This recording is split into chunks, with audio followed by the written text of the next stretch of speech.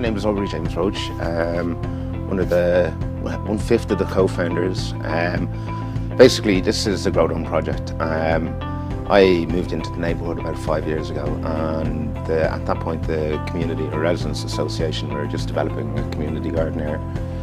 Uh, myself and a couple, of myself and a few of our mates basically came together and said, you know, wouldn't it be great if we could sort of install a greenhouse that would allow you to intensively produce food, you know? Uh, the idea behind the Grow Dome is basically to have intensive food production.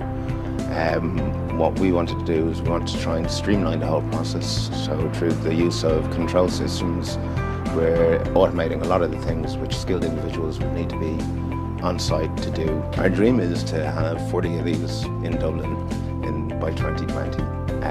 Doing that, you're getting 40 full-time jobs. You're creating a sustainable, a sustainable source of revenue for those individuals, and you're also reducing air miles. So, like instead of buying lettuce which is grown in China and shipped over to Ireland, buying lettuce which is grown locally, sold locally in the local shops, and bought by the local people.